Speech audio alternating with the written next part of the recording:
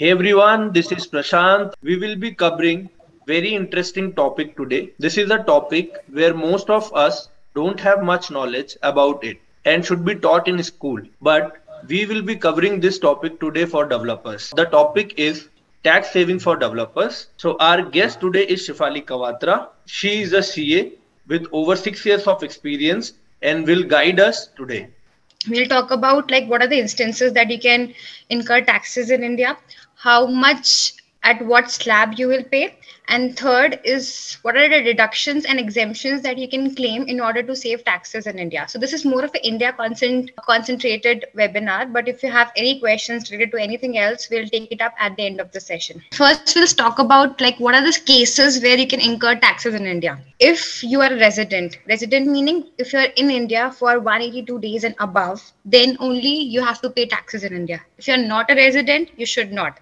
But resident also has one more catch is that in the past 4 years you have to be like 60 days in india or 365 days in the previous year whatever is there then you'll be called as a resident so resident is a very a massive term here but um, the second part which comes is like is the income have been earned or received in India? If either of the cases is there, then you have to pay taxes. And if not, if either both of them is not there, then you don't have to pay taxes in India. What is it that on which slab that you have to pay taxes in India is will come to the next slide. So if your income is about like up to 2.5, I think everybody knows that they don't have to pay taxes in India. But what if your income is above 2.5 until 5 then also you don't have to pay any kind of tax in india because it's covered by rebate i don't think so you should know about that but if your taxable income is coming until 5 lakhs you don't have to pay any kind of tax but what if your income is more than 5 lakhs and up till 10 lakhs. So that's how you you're taxed at 25k which is up to 5 lakhs you have to pay 25k if your income goes above 5 lakhs okay? And then 20% of 5 to 10 lakhs bracket. And then if your income is more than 10 lakhs you have to pay 30% flat tax of any income above 10 10 lakhs. So up to 10 lakhs it would be 125k 25k until 5 lakhs and then 100k which is 1 lakh rupees add from 5 lakhs to 10 lakhs. So 5 lakhs into 20% that's how 125k comes into plus 30% of your tax bracket. So this is the tax structure in india but you can reduce your income. Like when you show your income in the income tax return you can reduce your income through a list of exemptions and deductions. The next i'm going to cover about deductions given to employer and deductions given to employee so let's say you're an employee of xyz company and then you have like this much ctc and then they will tax your amount and that's how they will deduct a tds on your salary at that particular amount. So what's that about? So employer has like n number of deductions that they can give to their employees. But you have to give all these declarations to your employer. If you don't give these declarations to your employer then you might end up paying more taxes. So at the start of every year.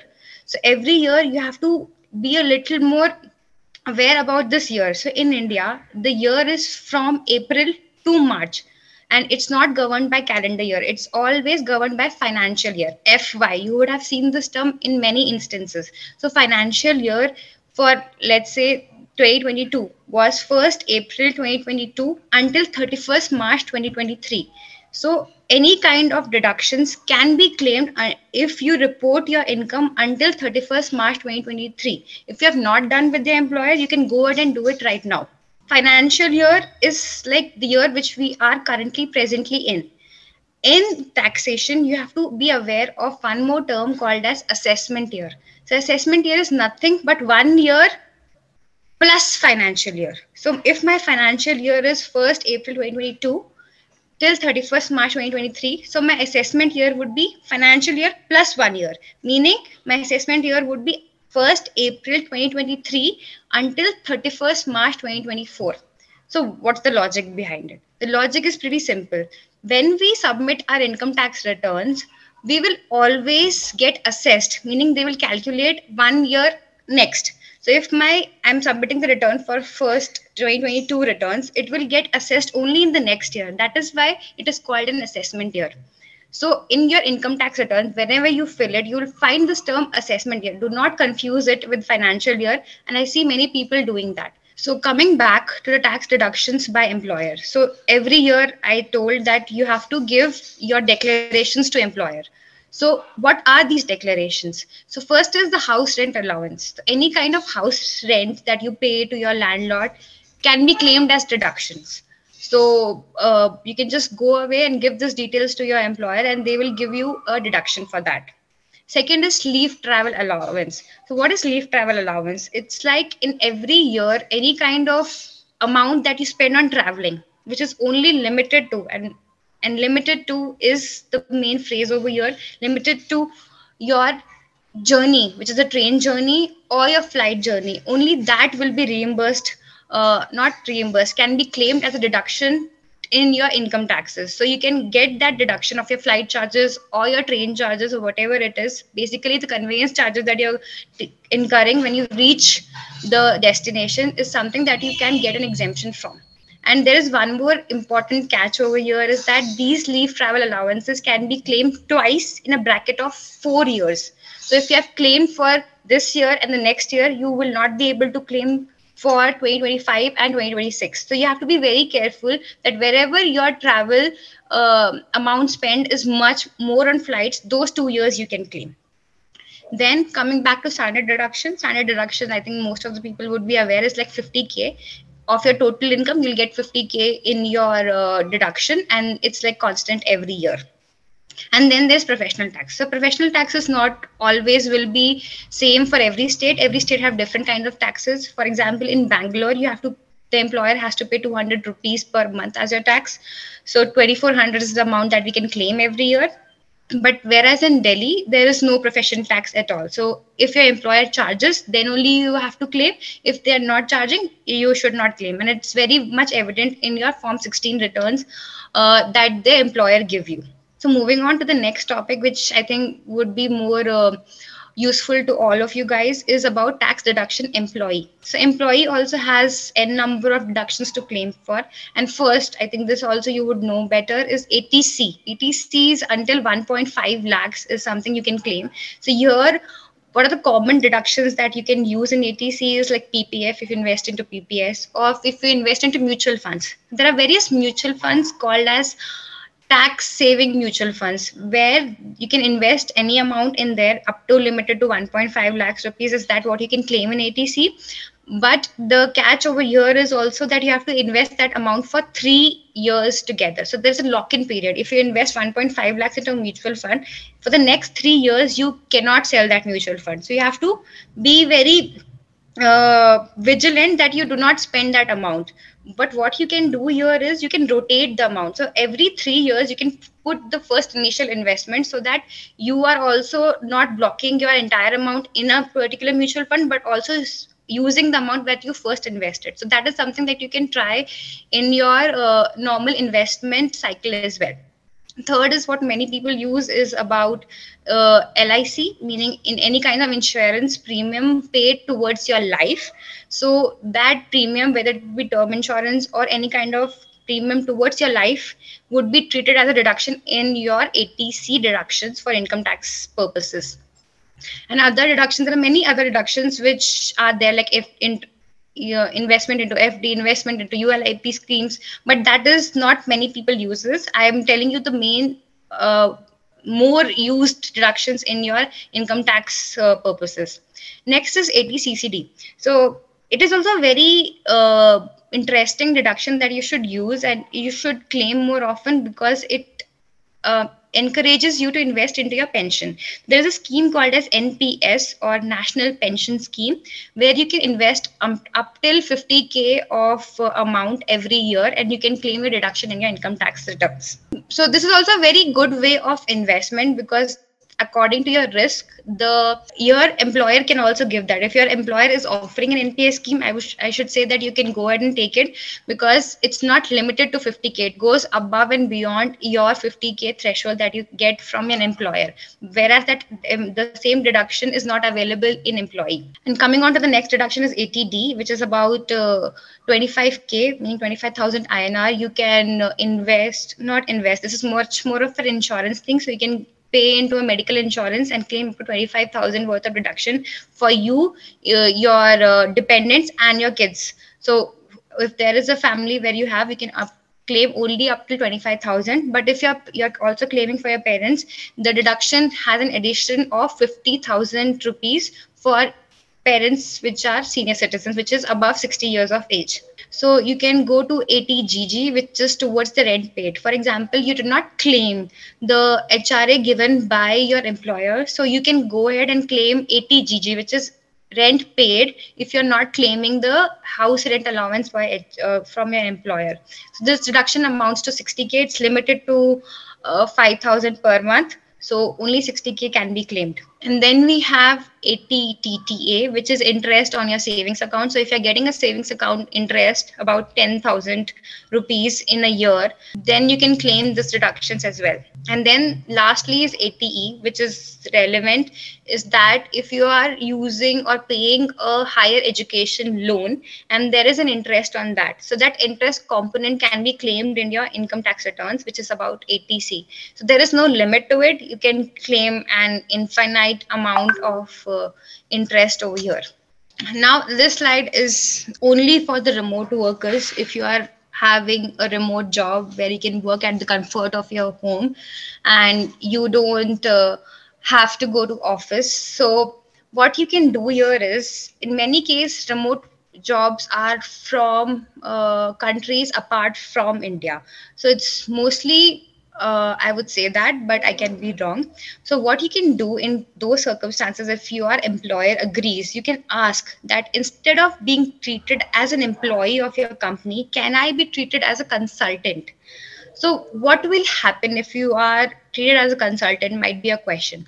So, there is a very added advantage given to the uh, income earned from profession in India so let's say you're earning an income of 20 lakh rupees from the employer and they have agreed to be treated you as a consultant. You can go into your income tax uh, uh, website and file a return where you can treat your 50% of the income like 20 lakhs and 50% of that is 10 lakh rupees as a deduction altogether and this is in addition to the deduction that i covered earlier so employee deduction that we covered is, is, is addition to that. You can treat 10 lakh rupees as a deduction and you only have to pay taxes on the rest 10 lakh rupees. So imagine you're 30% of the tax getting saved, which is a immense deduction that you can claim but you for that you have to be treated as a consultant not as an employee if your employer is filing or submitting your taxes as an employee then you cannot be treated under this particular category rather you have to pay taxes on the whole 20 lakhs amount. So try and talk to your employer and ask him or her for being a consultant in their company. So that way you can save a lot of taxes. Okay so coming on to the next topic is that what if your taxes or income is more than 20 lakhs? So if your income is more than 20 lakh rupees then you would also have to be governed under GST. So this is a little con under being considered as a consultant because uh, it creates another compliance requirement for you as per the Indian law standards.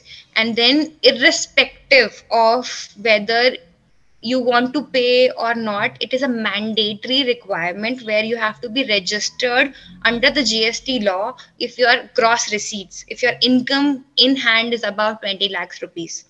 So uh, there is another requirement but that requirement there is also a positive side to it is that if you're providing your services meaning if your employer is apart from india any foreign land you are giving services to let's say us so you're working for an employer which is in us and you're you're a consultant and then they are providing you income. So you're giving service to us in literal sense of the indian tax laws. So that is called as an export income where if you even if you're earning unlimited amount there is no amount there you don't have to pay the gst to it. So it's exempted for gst but exempted for gst uh, meaning here it's that that you still have to report your income and uh, exempted would be a wrong word for this. It should be a zero rated income. So you have to pay 0% tax for this. So, but you still have to registered for GST and you have to take the GST registration and then you have to also file the GST returns which would be quarterly once and then yearly one more return has to be filed. So I know it's a cumbersome process, but it will actually uh, help you also to be taxed at 50% of your direct income tax and 0% of your GST. So I would recommend that if you are working as a remote person, you always always ask for being a consultant and that way you don't have to pay much taxes. You have to pay half the taxes and in fact it's even lesser. With that i would like to end my talk and then if i would want to take any questions if there are any so uh, there is one question from shivam gupta. He wanted to know can we claim 100% tax deduction if we fall between 5 to 10 lakh slab? And if not what is the maximum amount that we can save? You can only claim rebate. I think this is the question that you're asking that up to uh, 5 lakh rupees you can take the 100% deduction. But if it goes beyond 5 lakh rupees it's it's like 5 lakh and 1 rupees also you come to the third slab that i showed 25000 plus 20% of any additional rupee earned. So when you are in the 5 to 10 lakh bracket, I would suggest that you increase your tax deduction. If I do a summation 80C 1.5 lakhs, we get 80 CCD about 50 k more. We get 80 TTA 10,000 rupees. So you can claim like up to um, and up to is a correct word to, to stress upon here is that it is like 3 lakhs maximum deduction that you can claim. If your total deductions fall behind the income up to 5 lakhs then you don't have to pay any taxes. But if it's going above 5 lakhs then you have to pay taxes even earned on a single rupee. Is it applicable for the internship as well? By default any kind of taxes for the income earned as stipend from internships are not really taxable. So it's exempt for entire thing. So you don't even have to file your income tax returns. Uh, being an intern, do they need to pay any taxes? So in case of internship income, it is not really deducted by an employer as TDS, but uh, you don't uh, have to pay taxes uh, until 2.5 lakhs and until 5 lakhs if there is an income but beyond that you have to pay taxes. Which will be the best country to save taxes to uh, working as a remote job so best country to save taxes would be the middle east countries and in that too dubai because there is not tax there is no tax for income earned in those countries. So if you want to save the maximum amount as taxes the best to work in the middle eastern countries. Thanks a lot for your time. Thank you Shifali